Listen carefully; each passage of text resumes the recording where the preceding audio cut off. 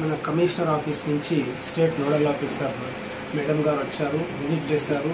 బాగా సర్వీసెస్ చాలా బాగున్నాయని మిమ్మల్ని మెచ్చుకున్నారు. అదేవిధంగా ఇక్కడ మనకు ఒక ట్వంటీ బెడెడ్ డయాలసిస్ యూనిట్ ఎక్స్క్లూజివ్గా ఉంటే బాగుంటుందని మేడం గారు చెప్పడం జరిగింది. అదేవిధంగా ఆ పాయింట్ నేను కూడా చెప్పడం జరిగింది.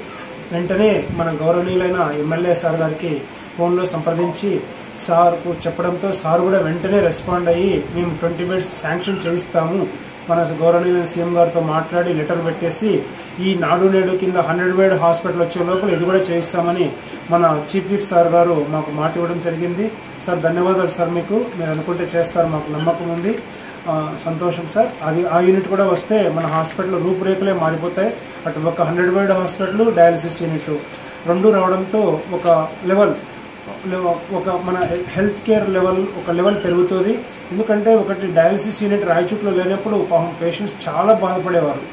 సపోజ్ లైక్ ఇప్పుడు లాక్డౌన్ పెట్టారు. అప్పుడు పాపం వాళ్ళు కడప తిరుపతి పోవాలంటే ఎంతో వ్యయ ప్రయాసాలు కూడుకున్న పని. మీకు అందరికీ తెలుసు ట్రాన్స్పోర్టేషన్ లేనప్పుడు చిన్న ప్లేస్ నుంచి చిన్న ప్లేస్కి పోయేటప్పుడు కూడా చాలా అమౌంట్ అయ్యేది వాళ్ళకు. ఇక్కడ ఉండడం వల్ల పాపం వాళ్ళు చాలా సంతోషంగా ఇక్కడే డయాలసిస్ చేసుకున్నారు.